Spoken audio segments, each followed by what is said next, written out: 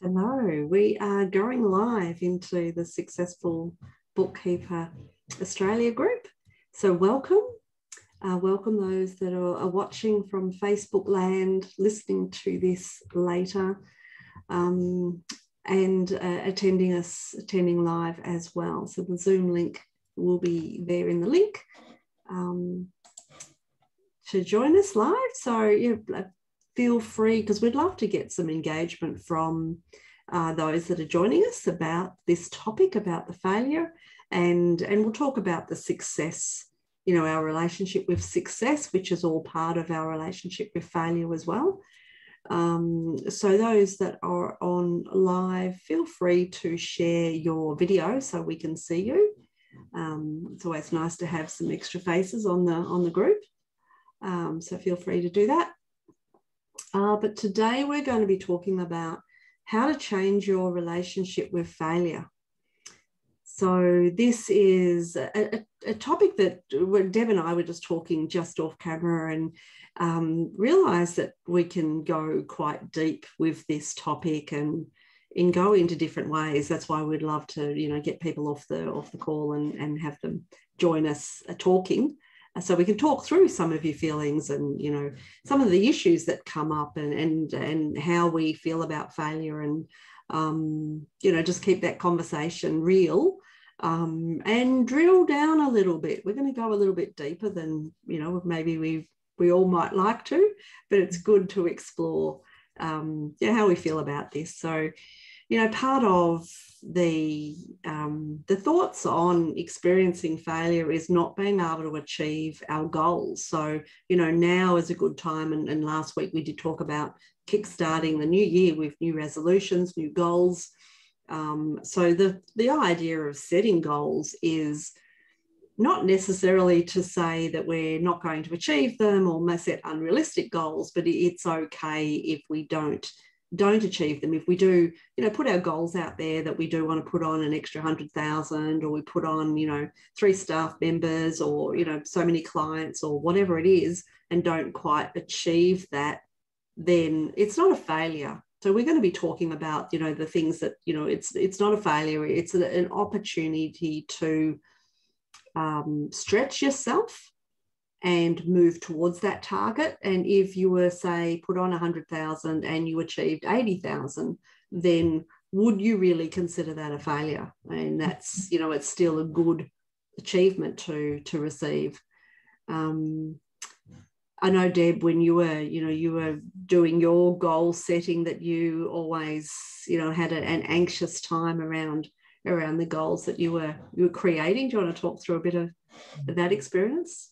Yes, yes. Uh, every year in January, uh, my business coach, Peter Cook, who's now uh, our business partner um, in Pure Bookkeeping, he, he and I would sit together and say, right, Deb, what are you going to, uh, what are your goals for this calendar year?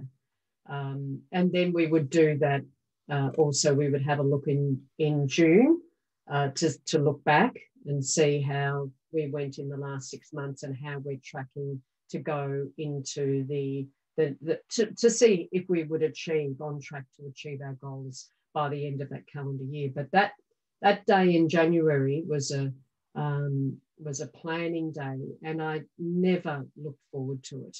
It um, I always felt very anxious about it, very nervous, um, and and the reason, like it took a bit of digging to get down to the bottom of why I felt uncomfortable about it. But um, and Pete helped me with that. And what it was, there were two things going on in my mind.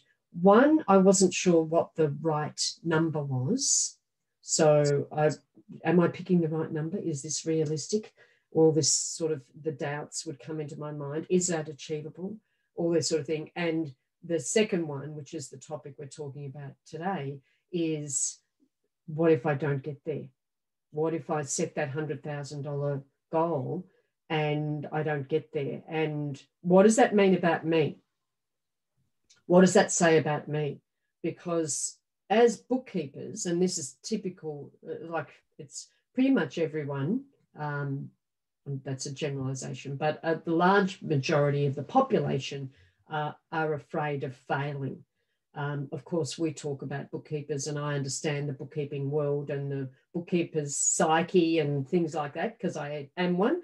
And so we are perfectionists, and you've got to get your bank, it either reconciles or it doesn't. You know, you can't fudge that and you can't make stuff up. So it, it reconciles or it doesn't, it's black or it's white. You get there or you don't. And if you don't reconcile something, well, that's not a good thing, which is why being a perfectionist is is a great quality for bookkeepers because we're not going to leave that bank rec until that's finished, until we can actually solve that.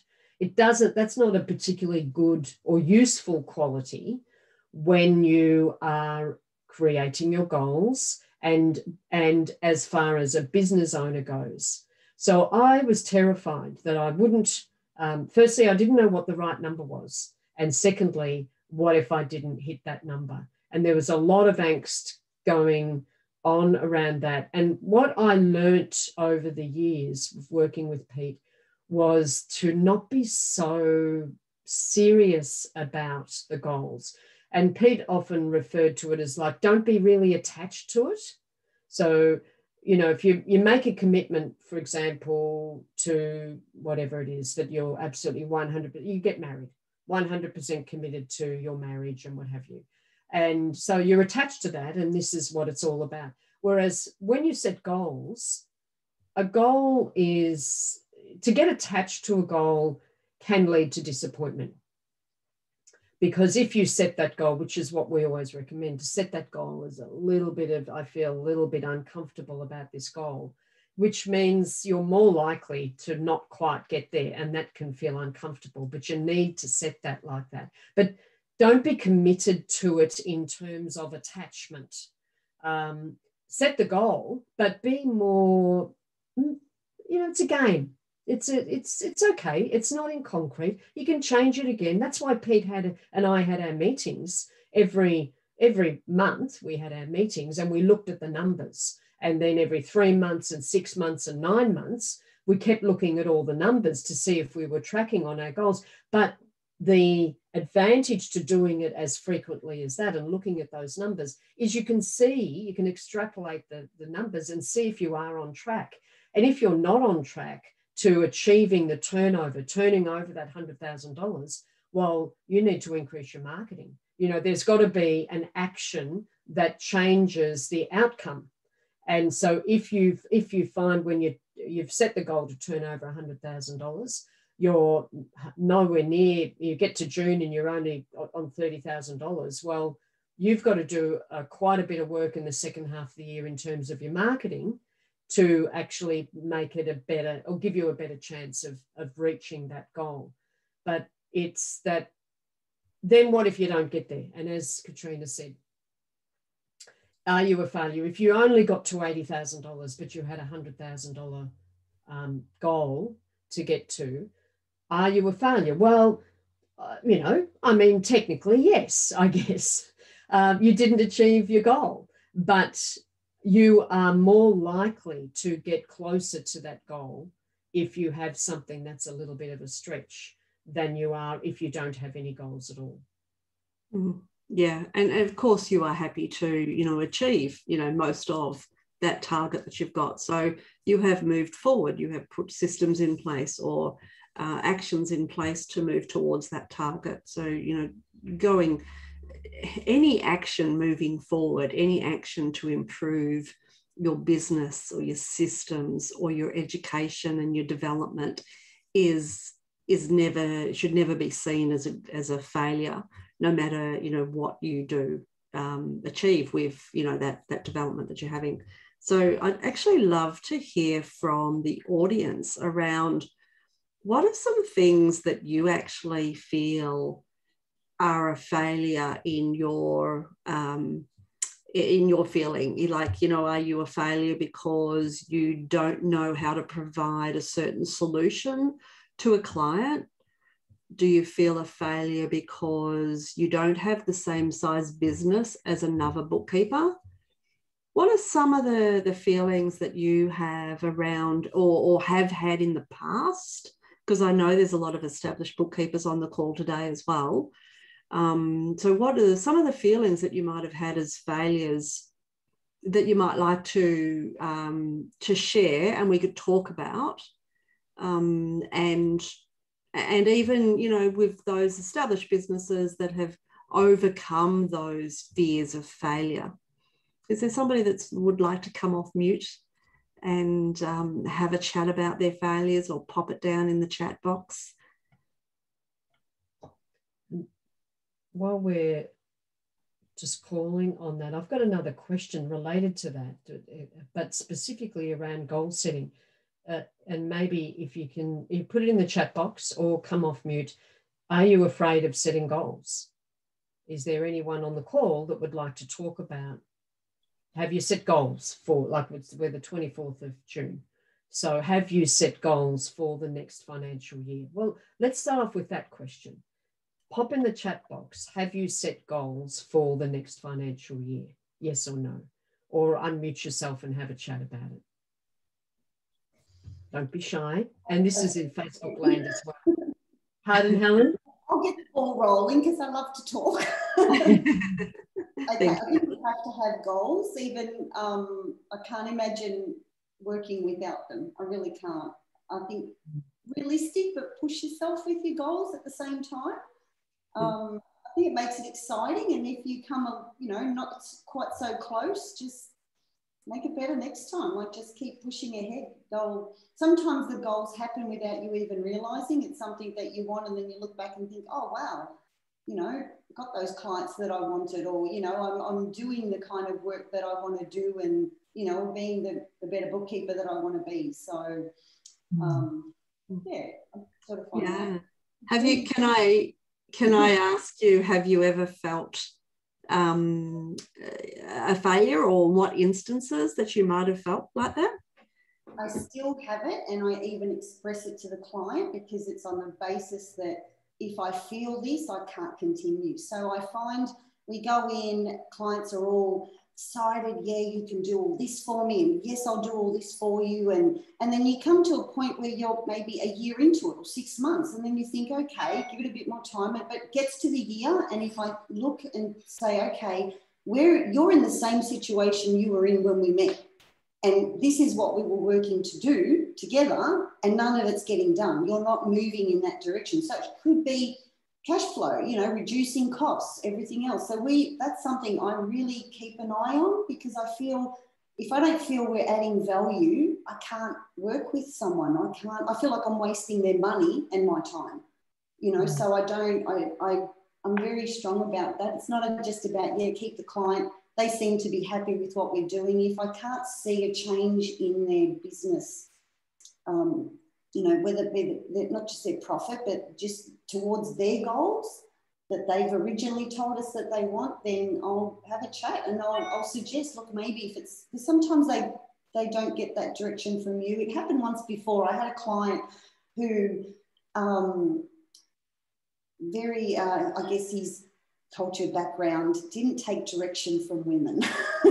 so I reached out to a um, European bookkeeping colleague that I have, and I said, Hey, I think he'll listen to you because he won't listen to me. And I think because I'm a girl. that's, that's the honest truth. And hey, they met, they hit it off, and clients booming.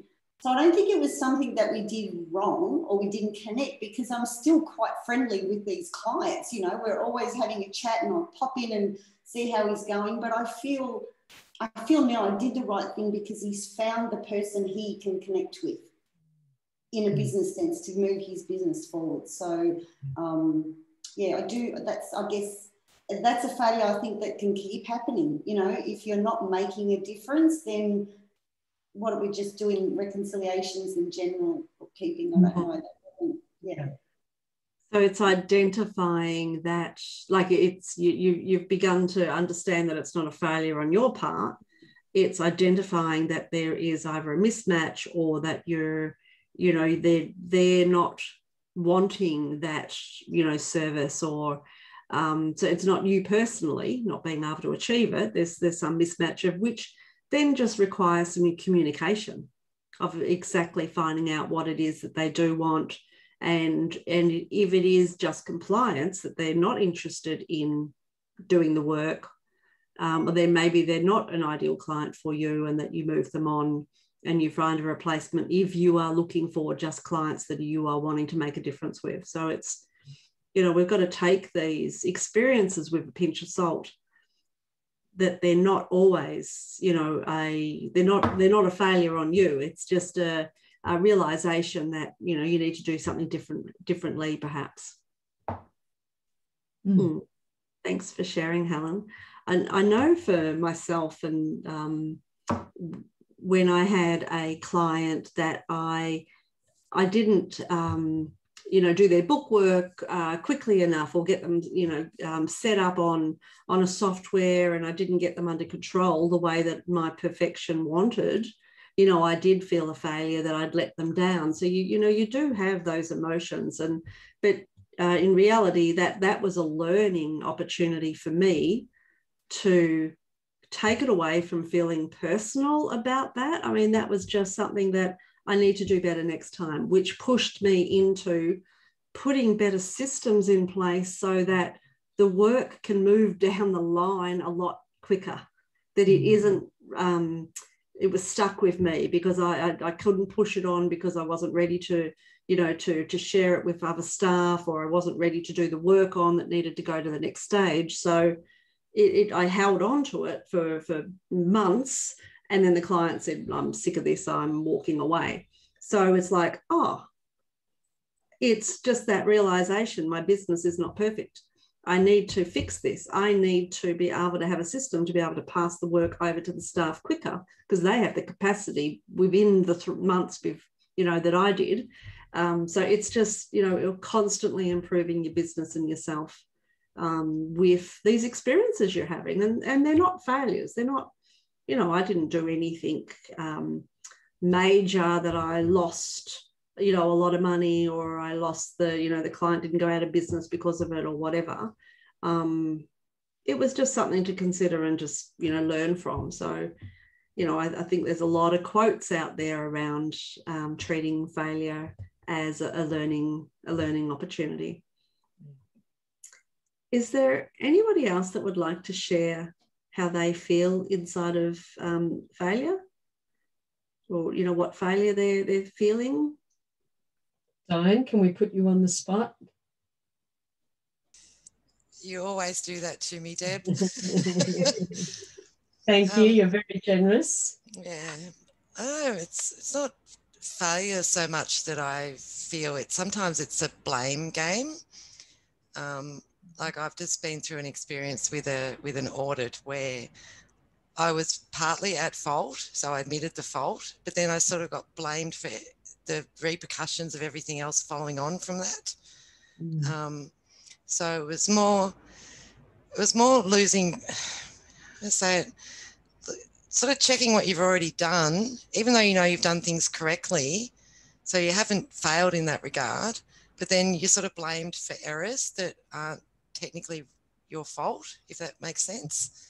Yeah. Um, so it sort of makes you sort of initially self doubt yourself like, did I do something wrong? Um, have I failed this client because I didn't do that correctly? When you know you have, so sort of it's that sort of self doubt of mm. of um, of just knowing that you've done something correct, but then sort of being accused of something or doubted in something, and then redoubting yourself, if that makes sense. Um, so, yeah, and you sort of feel mm-hmm. like I've, I've had experiences where I feel like I'm repeating myself, but I'm not getting through to the client either on what's required, especially mm. with um, certain compliance and and different things and process, obviously. Um, so yeah, it's not failure so much, but more a bit of a self doubt, even though you're confident in what you're doing. It takes it takes quite a bit of self awareness for uh, people to accept their contribution to a particular situation and to take their share of the responsibility of that. Um, there's a great book called Fierce Conversations by Sally, Sue, Lou, you might be able to look that up for me. Um, fierce conversations where she talks about how, and maybe we can do this on another. Um, this would be a good Mm. thing to do on another uh, power hour. But anyway, the bit that I was referring to was one of the steps in in creating a powerful conversation, which is powerful being or fierce being meaningful, um, is about admitting your own contribution to a situation, and it's a it can be a bit your confidence can be knocked a bit when you do that and you admit your contribution to this situation, but the other party doesn't admit their contribution to it as well. And so that's when they can start.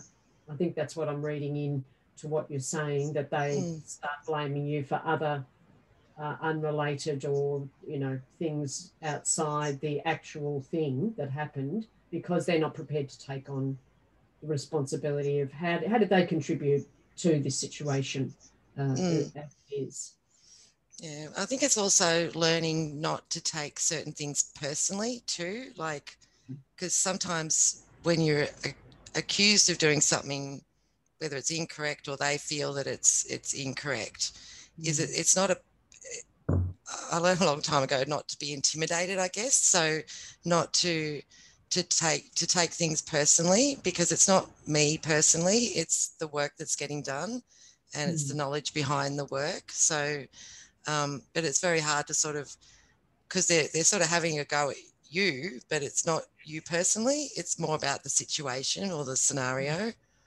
I think the distinction there needs, like, I think this is a good point for everyone uh, that the distinction needs to be made about whether they're having a go, because sometimes the whole thing can get out of whack and it's out of proportion to what to what was going on and they start to point fingers at you and you are a person um, even though they might you know not say it directly but um, if you feel that they are actually having a go at you then there's kind of they've crossed a line and katrina again and i were talking earlier about it's a bit like when with it with your children if they if your son does something wrong you don't say you're a bad child or a bad you know you're bad.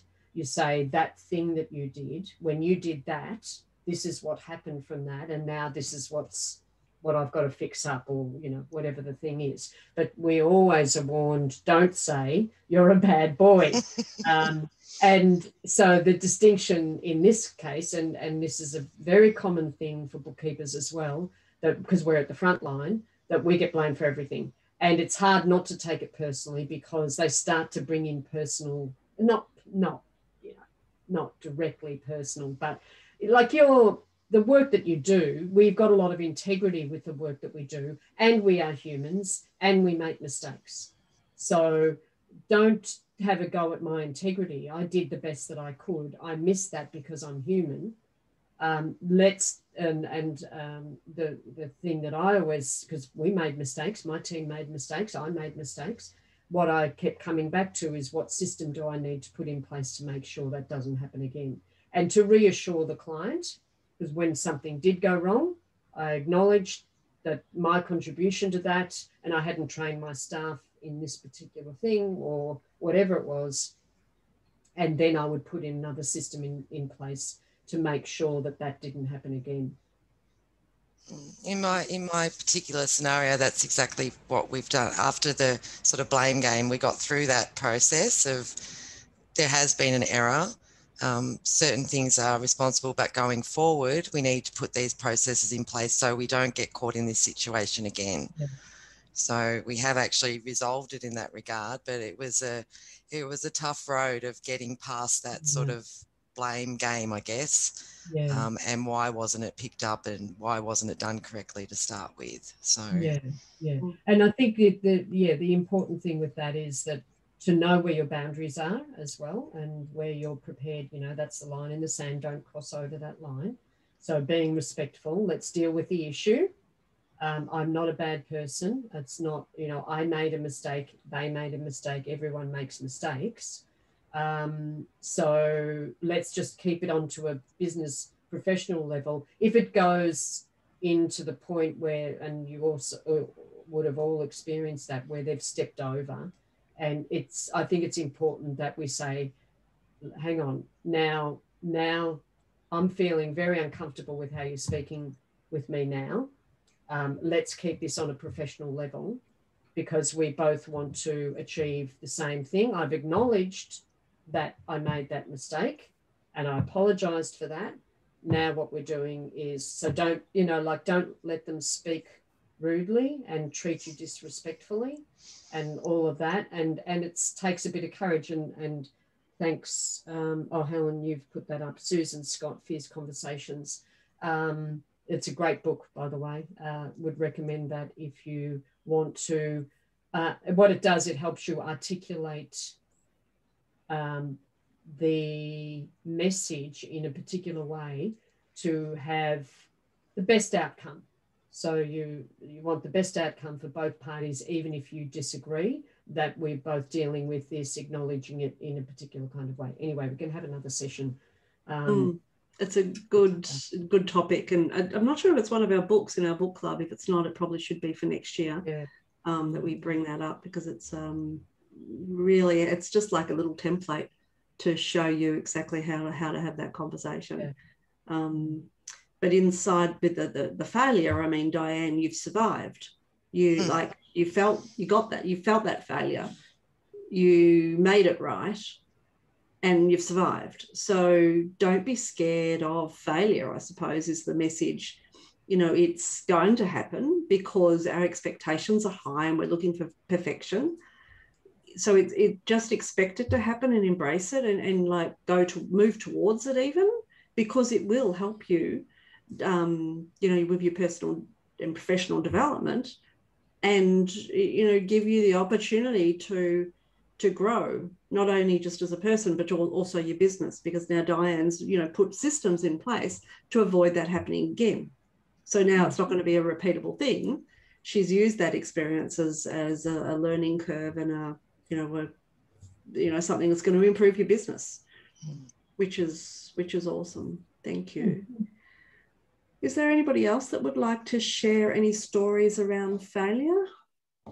I, I can see some familiar faces. You know, I'm going to pick on you, don't you? say something. Linda, go ahead. Yeah. Um. Uh, one of the things that um, it's probably not giving as much time as I could to the clients. You know how um, when you, uh, yeah, and I think you know you can do more for them. And there are some like I know there's one in particular where we go out on site um, every so often, um, once a month. Um, but I could really do that twice a month and I could actually go and do a lot more. And it's kind of like you've got so many things on the go that you just got to have to sometimes do the bare bones and the basics to tick everything off, make sure, yep, that's running on time. And then I just sort of feel guilty. Actually, we could actually do more for them, mm. actually, really do more for them. And then when you look around and you look at all of them, you think, actually, I could do more for all of them. Yeah. And um, yeah, it's I think it's just time is against you, and then just bits and pieces come up, and that take your time, and yeah, you tend to go, oh, I'll just put that to the side, that to side. But yeah, I think um, maybe finding more time that could be a goal for the next financial year is that finding more time for the actual clients that we have and really going through everything and going, what can we do more for them? Which will, you know, it'll in turn will increase the revenue for us, but um, would also give them a much better complete package or, or service or value, you know, for them. Yeah. Uh, Melinda, do you have staff? Um, no, it's just uh, Neil and myself. And oh, we're, you know, we're, yeah, we're where I'm in pretty much uh, capacity for one person and, and then a little bit more. And then we've also trying to do put all the systems in place. So for the two yeah. of us, we're pretty full on and we're hoping to maybe by the end of the year, early next year, to be putting someone on. But I'd really love to get all the systems in place first. Yes. So, yeah. Yeah. I, I, find these type of realizations, um, which which is awesome, and thank you for sharing. It gives you the opportunity to explore what can happen in your business, what is possible, and and and you've just said my, you know, one of my goals is going to be time management. So mm-hmm. it, it gives you now the exploration of what can change, what can you do to make this better. You know, you realize that there's more money on the table yeah. uh, with your current clients. Like it's not hard to grow when you realize that. So it's putting your systems in place so that you can put staff on to scale and and get other people to do the work knowing mm. that the system is going to lead them into what they need to do for you to be able to review it you know accurately for you to be able to work on your own personal development and on your own business as well mm. Yep. so it's you know you know realizing that and putting putting actions in place as a result of it so it's not mm. just sitting in there you know month after month year after year saying i'm a failure because i can't do any work yeah. it's the action that happens after that failure is the more important than the realization or the, or the actual failure itself. Mm. Yep. And Melinda, the um, as far as time management, the reality is that right now, because you are implementing the systems and um, and you are already full, I think the goal um, is going to be more around planning when you're going to put on your next and have a goal to put on your next staff member. For example, you know January or November, whatever the, the thing is. And also, the other bit of advice I would give you is don't, it doesn't have to be perfect. This, you know, you don't have yeah. to have everything implemented um, yeah. before you recruit. When you are already full up, then it's likely that you'll need help from the new recruit to help you implement things.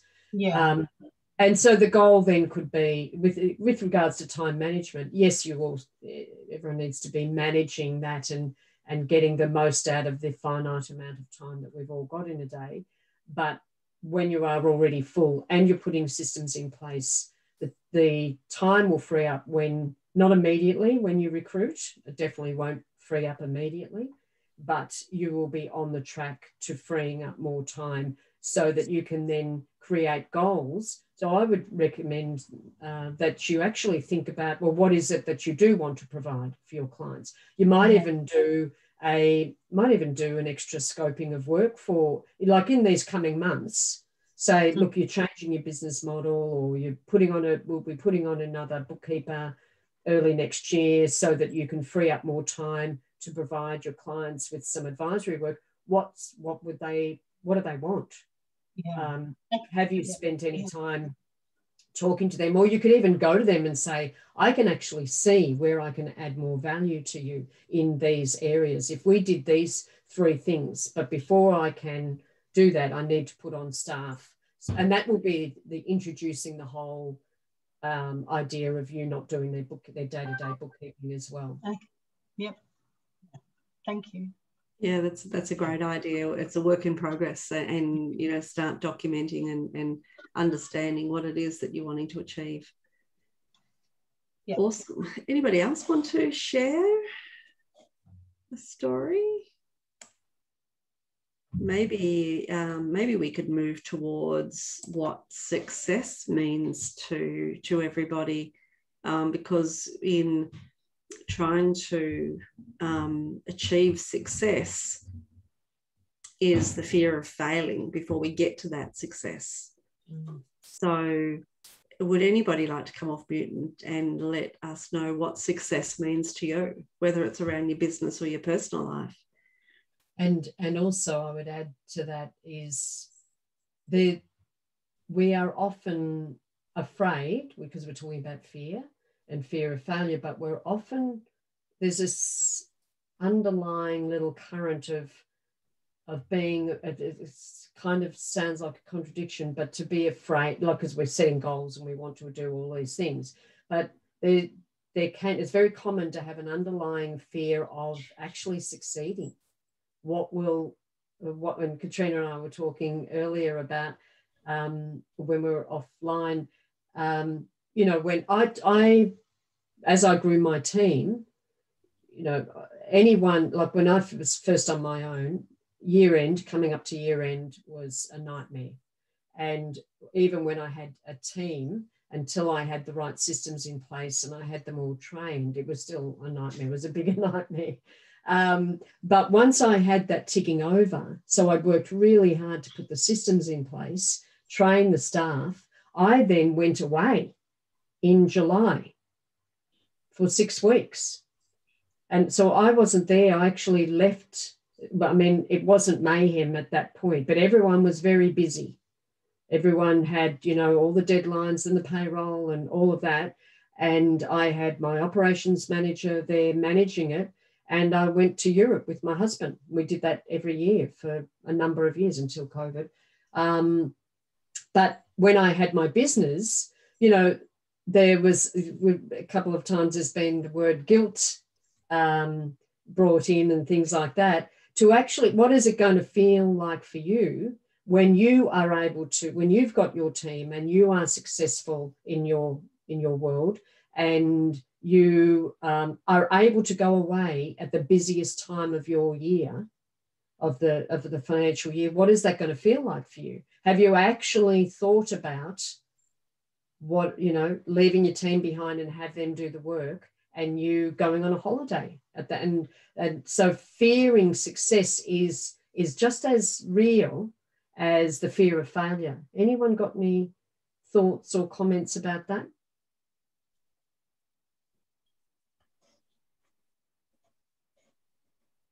They're all quiet, all quiet.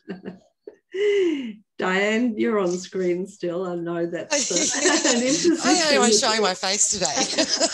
um, I think with me, it's more it's that roadblock of letting go of of things. Like for me to do what you've done, Debbie, to actually go away in July, that would scare the absolute crap out of me. Yes. Um, yes. More so because you, it's that it's I suppose it's it's all like it's all like the busiest month really when you think about it. So to have that position that you were in to actually get on a plane and go somewhere else mm. and having the faith in the people that you've left to do the work for you that that's amazing that's that's i mean i'm at the point obviously with same as um, what melinda was saying is engaging someone to to to look after things so i'm not doing it all yeah. um, to get to that point would be um, would be amazing. And and so, I I also was uh, um, the thought when when I was in at your level uh, on my own and um, or even maybe one staff or something like that. The thought of me being away in July was like Pete and I were going, no way. It's like the not then. Like how about October? you know, like any other time, but not then. And it was like Pete often described that when when we were doing our seminars and that he'd, he'd be say Debbie would be rocking in the corner with her thumbs in her mouth going, I can't be away in July. Don't tell me I can be away in July. so it but it can happen if that's what you want. And I think the other thing we were talking about off air was it's very important that you are on your own journey you don't have to do what I did. You don't have to do what Katrina did. Katrina was very successful in uh, to the level that she wanted to staff and sold her business and all of that.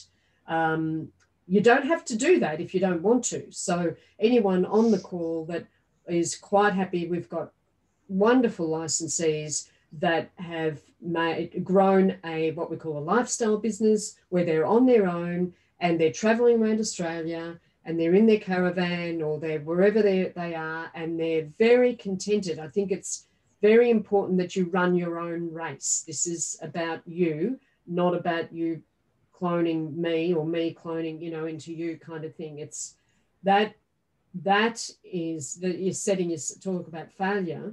If you are running someone else's race, you're setting yourself up to fail.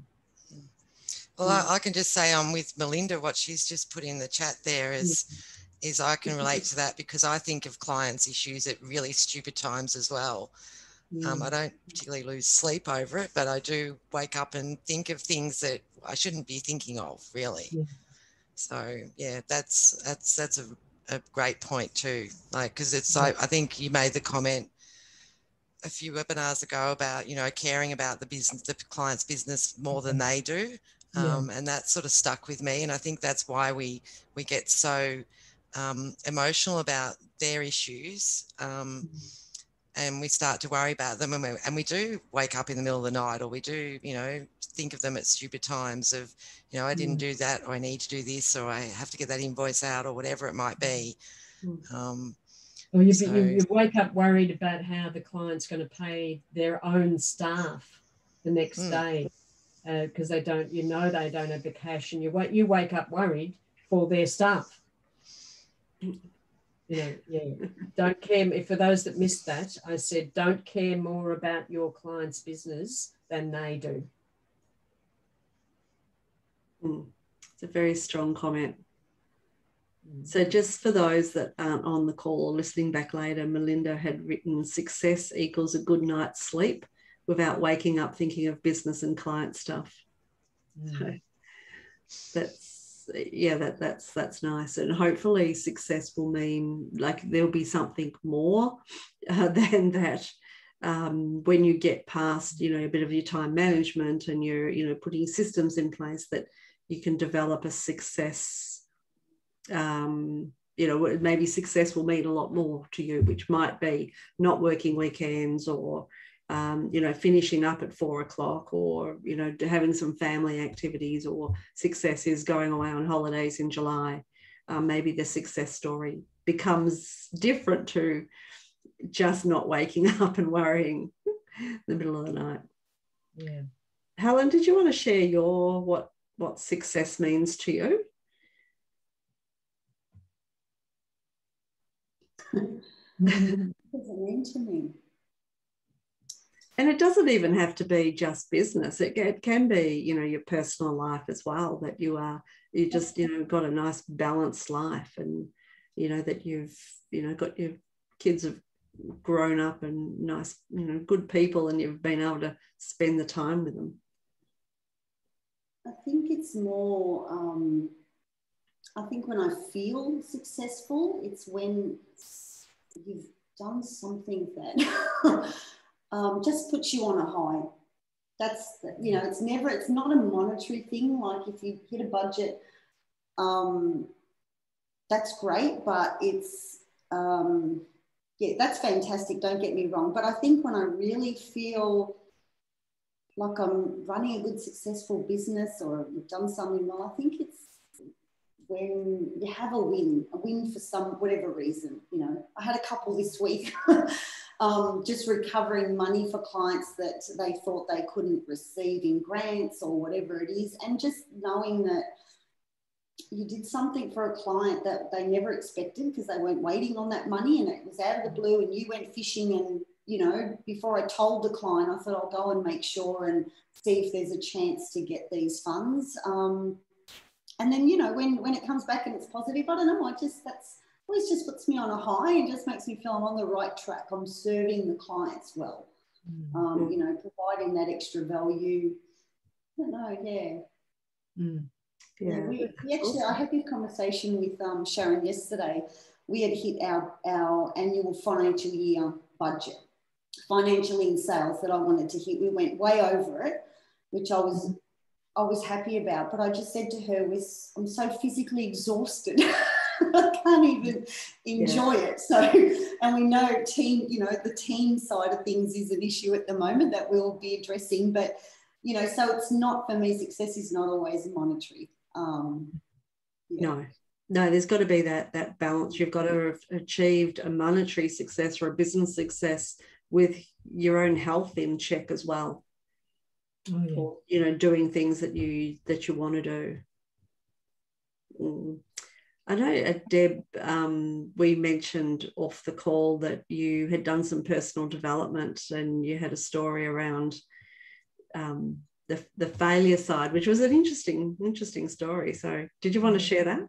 Yeah, yeah. Um, always happy to share my failure stories and whatever else, all the mistakes that I've made. But this was actually, I went to, a, participated in a landmark forum, oh, talking 15 years ago or something like that.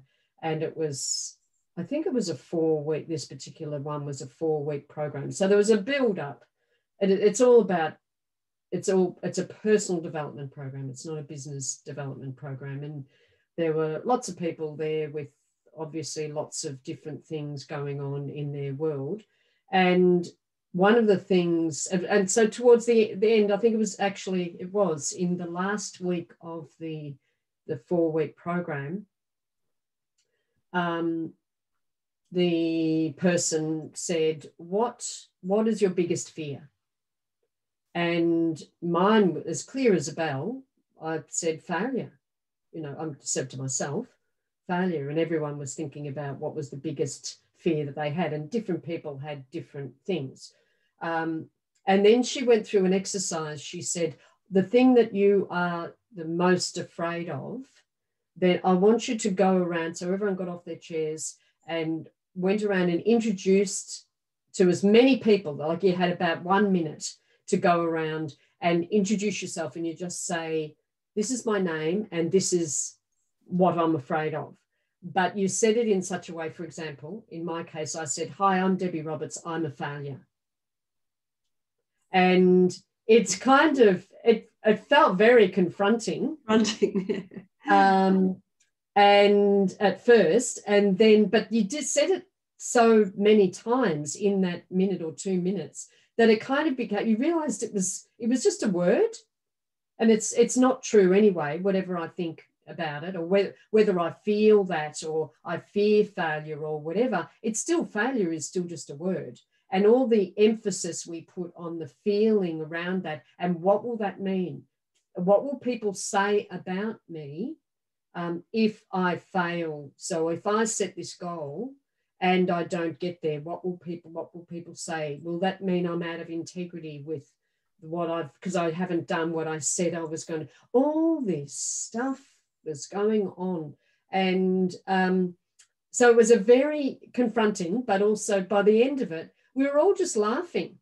Uh, we, we're going up to the last person and saying, "This is just kind of." I realised then that I was way too serious about setting goals and, and I said earlier, being attached to them and what happens if I don't get there and all these sort of things. It's so it's, and I started off earlier by saying one of the solutions then was to lighten up about the whole thing. If you mm. set goals and you don't achieve it, you're not a failure. That just means that you need to reset your thinking or reset your goals or reset what you're doing and and you know if something goes wrong with a, a client and well what system do i need to be putting in place we can sometimes we're very good at beating ourselves up very efficient at that and we can go right to the heart of the matter when we uh, when we do fail at something whether that's um, you know not servicing your clients you you beat yourself up about it or get something wrong and you beat yourself up about it and so it's it's uh, one thing that I kept telling myself is no one's actually died. So if we really want to weigh that up against things, life and death situations, no one's died from this mistake that I've made or this failure or whatever. Let's just be professional about it and think clearly about what the solution is to make sure it doesn't happen again. Mm yeah I, I, love that story imagine walking around saying i'm a failure like it wouldn't feel very very good to admit that to to complete strangers yeah and then and then the, yeah it was like as i say it was the end it kind of sounds a little bit out of context given me just blurting this out. There was a lot of build up to all of this and revelations and insights and different chipping away at um, people's pasts and what happened then and you know uh, because people carrying ba- baggage forward. So there was a whole a context around it but it was a powerful thing. So whatever you're afraid of if you if you do fear failure then just treat it you know say it i fear failure you don't have to say i am a failure you can just say my biggest fear is failure um, or my biggest fear is success or whatever, my biggest fear, and say that to a few people in your household. and see how you feel around that. I'm I'm afraid that I'm going to fail. I've I've you know I'm committed to growing my business, but I don't know. I've, I'm, I've, this has gone wrong now, and I'm lacking confidence now. Can I actually do that? And get surrounded by those people who love you and fill up with love, as I often refer to it. Give them big hugs and fill up with love, and get back out there. Get back on the horse, and you're not a failure. Um, and don't let those sorts of fears hold you back. Mm. Yeah, that's a, a great story. Um, Helen, you're actually off mute. Did you want to share? Um, oh, you've just unmuted. Oh, Sorry, you you just you muted yourself. Sorry. I'm just doing a little chat message to say sorry, everyone. I've got to go. Oh, okay. at one, so I've got to head off. Um, Perfectly okay. Thank you for sharing your stories. Okay. yeah. See ya. Jacqueline, I'm going to put you on the spot. You are always a contributor. Do you want to take yourself off mute and maybe even show your video? Mm. If you can. May not be live listening. Oh, okay. That's um yep, she has What about you, Lindell? Are you are you with us virtually? Yes. Hi, good to see you. Well, not kind of can't quite see you yet, but that's all good. How do you feel about? You got any insights about any of the comments or conversations today? Uh, I guess for me is I, am kind of at that cusp at the moment of where I'm um, looking at. I, have been working for the last four and a half years, heading up a um, the bookkeeping team in an accounting firm, as well as running my own business. Um, and I've built their business quite substantially now, but it's at the point now where I've built both of them at the same time, kind of thing. And mm. um, I'm now running out of time, and you know, and time as in I just don't have any more time to give, and I need to uh, give to. I, I need to make a decision of which way I'm going to go, like whether I'm just going to go full time employed, employed, which I'll only ever be capped um, or jump full time back into my business again now. Um, so that's very those very real concerns that you just mentioned is um, one of my biggest fears is that I may fail um, if I go because it, it, does comes back onto me if I do it myself. Whereas if I'm working for somebody else, you kind of can hide behind that. Oh well, I'm just an employee sort of thing. Mm. But yeah, but that's where so, I know I can do it. Yeah, and I guess what what might help you, and it, it's not something that we haven't said before, but it's the reason. So why? What what is your vision? Where do you want to be in five or whatever years time? Um, that you you can't get as an employee um, and will only be able to attain that, whether it's a financial thing, whether it's a lifestyle thing, whether it's uh, just just giving it a go. I know we've got I've spoken to bookkeepers that said I just want to I want to prove that I can actually do this. What's your what's your reason? I guess you know I'm I'm 52 and I've got two young kids and just time. I just want to have that flexibility, and um, because I'm they're not going to be, you know, young for very long. Mm. You know, they're already 14 and 16, so. Mm. You know, so I don't have a lot of time. I do have, yeah, you know, they'll be around for the rest of my life and their life. But um, as far as having them in my life, they mm. may not be as in my life as what they are now. So I just want to be able to give them time yeah. You know, and and I suppose and, the thing is, is that all they ever see is me working. Yeah. So when I'm not at when I'm not at the accounting firm, you know, and I I kind of kick myself because I don't know why I have so much confidence. So when I joined them, they were uh, their bookkeeping division was at um, I think it was uh, eight thousand dollars a month it's now up to $28,000 a month, mm. four and a half years later. Yeah. Um, and that's and I'm thinking, well, how come I can apply? I, I'm kind of, I, I suppose I'm rough on myself because how how come I can apply that confidence and principle to there, but Mm. I kind of need to have that same confidence and principle. If I can do it there, I can do it here. I'm, I'm running the, I'm, tr- I'm putting in this processes. I'm, um, I'm putting in their quoting processes. I'm uh, implementing their staff, uh, doing their, you know, you know, all for what, 35 bucks an hour, Yeah. you know? You've What- got this, Linda. Yeah. So- what what would happen if you did take that leap of faith and I left- now I think, well, I would lose that, that consistent income. Mhm. So that would be Oh. that. Yeah.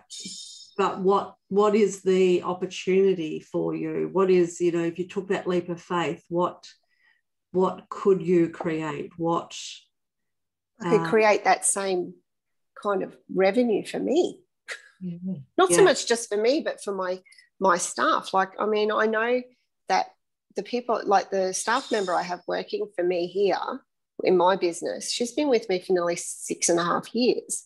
Mm. Um, so I know that my staff like working for me and the team that I have in there, you know, like they feel supported by me and um, I, they enjoy working for me and working with me and, you know, under me. So I know that my staff, when I when I've got the time to focus and do things and implement things, they do feel very supported.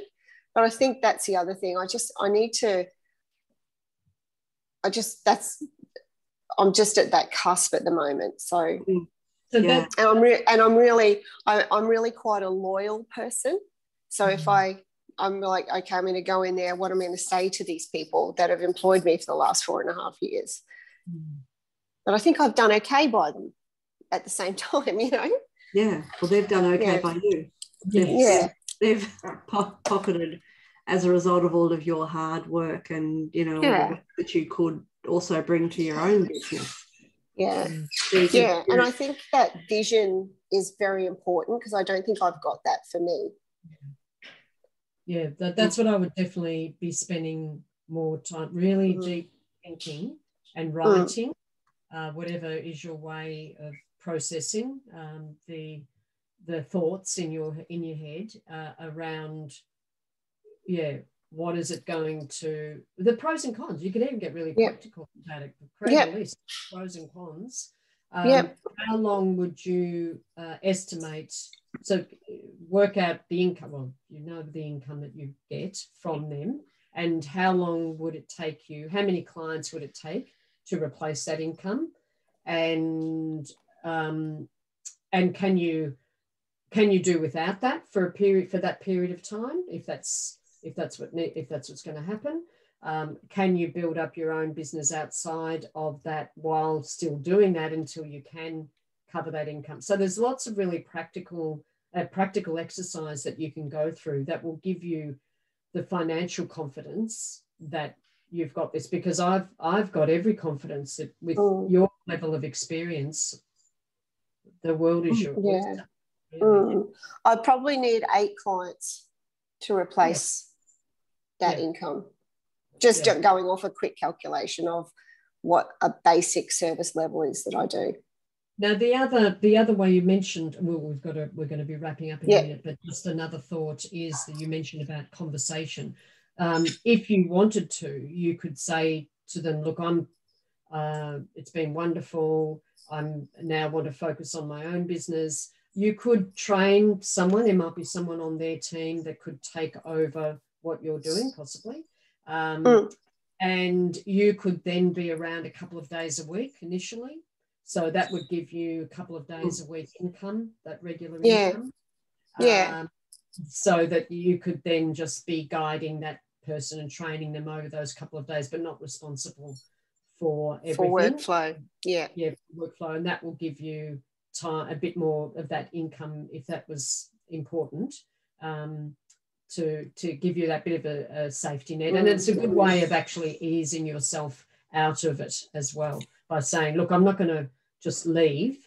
Uh, I'm quite prepared to work a couple of days a week if uh, to train the new person if that if you want it or something like that. Yeah, yeah, I think, and I think that's what I, I want to be fair and reasonable. Yeah. Yeah. Mm-hmm. Yeah. But that's where I'm kind of at at this moment in my yeah. career.